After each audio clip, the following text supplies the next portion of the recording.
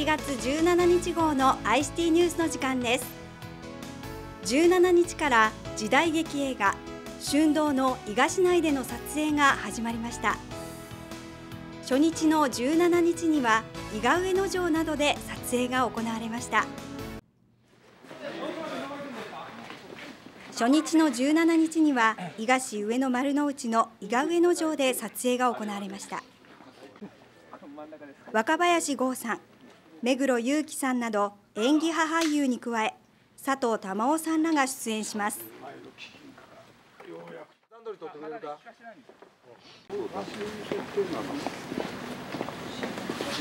今ここがだから顔が半分この日は多くの俳優が寒い中白い息を吐きながら演技をしていました。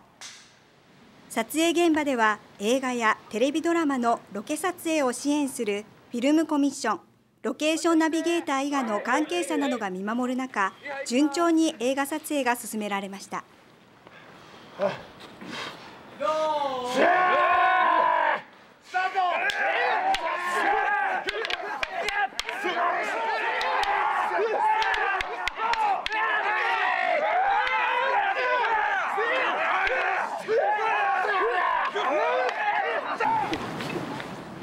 春堂の伊賀での撮影は今月22日まで行われます。それでは初めの話題です。今年中に全国で公開が予定されている時代劇映画春堂 ICT ニュース1月17日号では初日の撮影の様子をお伝えしましたが今回は21日の撮影の様子をインタビューと合わせてご覧いただきます。この日は伊賀市上野丸の内の国史跡旧崇光堂で撮影が行われました。映画春堂は江戸時代享保年間。藩の存続に尽力する上代家老や正義を信じる若き藩士らの対立と葛藤を描いた本格的時代劇です。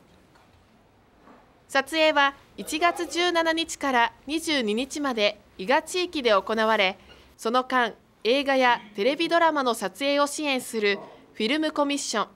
ロケーションナビゲーター伊賀ナビガが炊き出しなどをしてバックアップしました。この日はお城の広間のシーンで演技派俳優の若林剛さんと中原武雄さんが迫真の演技をしていました。本番しました。本番。本番。よーいスタート。伊賀でロケをされていかがでしょうか？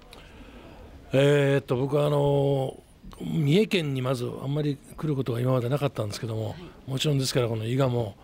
初めて伺いましたけど非常に、えー素晴らしくあ豊かな街だなというふうに感じました。日本は広いですね。なんか本当に知らないところばっかりで、えーとても今回そういう意味で、えーここに訪れることができて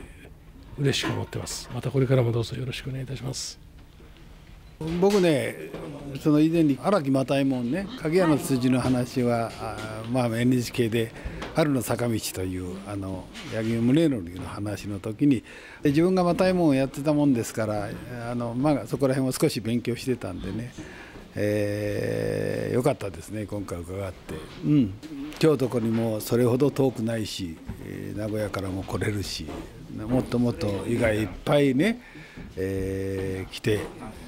伊賀で楽しんでいただくといいなと思ってますんでどうぞ伊賀の皆さんも頑張っていただきたいと思います。ちょっと寒いけどね。